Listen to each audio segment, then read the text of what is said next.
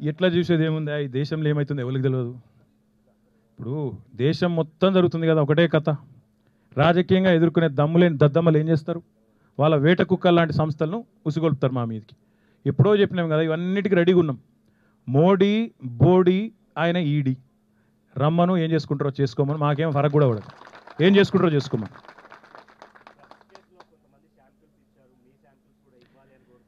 ఈ ఫాల్తు మాటలు ఫాల్తు రాజకీయాలు పనికి మాల హౌలగాలు చేస్తారు? ఆ పనులు తప్ప మేము చేయము. దమ్మున్నోడు ఉంటే దమ్మున్నోడు ఉంటే ప్రజలకు ఏం చేస్తావో చేయమను. ఈ ఫాల్తు మాటలు ఫాల్తు రాజకీయాలు ఎందుకే నాకు అర్థం కాదు. నేను ఇస్తా మోడీ నీమంట ఇంకో నీమంట. ఏం చిల్లర రాజకీయం? ఇది రాజకీయమా? ప్రజలకు పనికొచ్చే మాటలు మాట్లాడరా సన్నాసి అంటే ఫాల్తు మాటలు తెల్లారలేస్తే మురుగుడు విచిత్ర జంతువులాగా విచిత్రమైన అరుపులు. వీళ్ళు మనుషులవే నాయకులు వీళ్ళేమన్నా ఏం డ్రగ్స్ ఏంది? ఏం టెస్ట్? డ్రగ్స్ టెస్ట్ ఏంది? ఇస్తా ఇచ్చినాక చెప్పు తీసి కొడతా పడతాడా? నేను చిత్తశుద్ధిగా బయటకు వస్తా. కరీంనగర్ చౌరస్తాలో చెప్పుదే దెబ్బలు తింటాడా? నాతో అన్నాడు కాగా నేను ఒకటే అడుగుతున్నా. కాగా ఆగా నేను కుల్లా అంటున్నా. డ్రగ్స్ కాదు నా నా రక్తం తీస్తాడా నా చర్మం తీసుకోపోతారా ఏం తీసుకోదో తీసుకుపోమను నా బొచ్చు కావాలంటే బొచ్చు కూడా ఇస్తా. నేను నేను బయటికి చిత్తశుద్ధితో వచ్చినాక కరీంనగర్ చౌరస్తాల కమాన్ కాడ చెప్పు దెబ్బలు తింటాడు నా చెప్పు కాదు. నా చెప్పు కాదు. మళ్ళీ అట్లా అంటే అవమానపరిచిండు ఇంకేదైనా తొక్కలో రాగాలు తీస్తారు. ఆయన చెప్తాను ఆయన కొట్టుకుంటాడా? కరీంనగర్ కమాన్ కాడ కొట్టుకోవాలి. దీనికి సిద్ధమైతే చెప్పు. ఇక్కడనే ఉంటా రమ్మను. ఇక్కడనే ఉంటా రమ్మను. ఏ డాక్టర్ని తీసుకొస్తాడో ఏ గుండు కొట్టడాయని తీసుకొస్తాడో తీసుకురమ్మను. నా బొచ్చిస్తా నా రక్తం ఇస్తా నా గోర్లు ఇస్తా అని పొందా ఏం కావాలంటే అది ఇస్తా. కిడ్నీ ఇవ్వండి కిడ్నీ కూడా ఇస్తా. అని పిండకుడు. ఏం రాజకీయమే ఇది? వానికి ఏమైనా తెలివి ఉందా అసలు? మనిషి పశువా? ఏం చేసినవరా బాయ్ కరీంనగర్ కంటే చెప్పే ముఖం లేదు. పిచ్చార్పులు గావు కేకలు పెడబొబ్బలు హౌల మాటలు. చెప్పు ఒక్కడు చెప్పమని ఏం చేసినావు కరీంనగర్? కానీ తీగలగుట్ట కాడ తీగలగుట్ట పల్లి కాడ కనీసం ఆరోపి తెచ్చే ముఖం ఉన్నదా ఆయనకు? గది కూడా కాదు. ఏంద్రాబాయ్ అంటే హిందూ. పోను టెంపుల్కో నాలుగు పైసలు తెచ్చినవా? కొండగట్ట అంజనకు నాలుగు పైసలు తెచ్చినవా? ఏమలాడకు తెచ్చినవా? దేనికి తెచ్చిండు చెప్పు. ఇదేంది వెలుగా? గదే అర్థమైంది.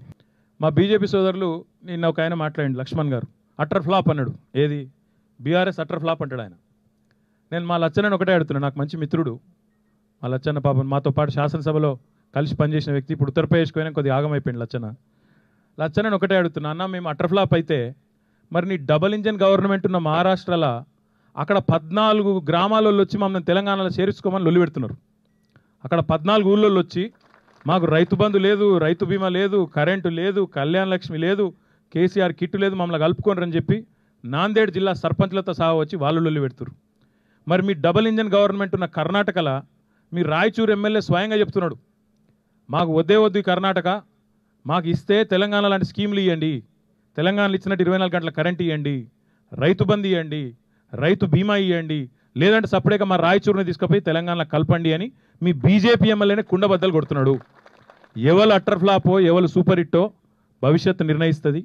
దానికి అంత తొందర వద్దులచ్చన్న భవిష్యత్తులో ప్రజలే న్యాయ నిర్ణేతలు మీకైనా మాకైనా ఎవరికైనా అల్టిమేట్గా తలరాత రాసేది ప్రజలు. వాళ్ళ తీర్పు కోసం ఎదురు చూద్దాం. మాకైతే విశ్వాసం ఉంది. మా నాయకుడు ఎట్లయితే అసాధ్యం అనుకున్న తెలంగాణను సుసాధ్యం చేసిండో అదే పద్ధతిలో మీరు ఎట్లయితే అనుకుంటురో ఇయ్యాల మీకు కూడా చరిత్ర యాదుకుండాలి. ఒకప్పుడు బీజేపీకునే రెండే రెండు సీట్లు దేశంలో. ఇలా మూడు వందల మూడునే నిలుగుతున్నారు ఎప్పటికీ ఏది శాశ్వతం కాదు. అదే మూడు వందల మూడు రివర్స్ అయ్యి మళ్ళీ రెండింటి కూడా పోవచ్చు. కాబట్టి చెప్పలేము. లక్ష్మణ్ గారికి అంత అహంకారము అంత విజయ గర్వం పనికిరాదనే మాట కూడా మిత్రుడు వారి పెద్దలు వారికి లచ్చన్నకు కూడా విజ్ఞప్తి చేస్తూ మళ్ళొకసారి మా సిరిసిల్ల సెస్ వినియోగదారులైన మిత్రులందరికీ కూడా పేరు పేరున మా నాయకులకు కూడా హృదయపూర్వకమైన విజ్ఞప్తి.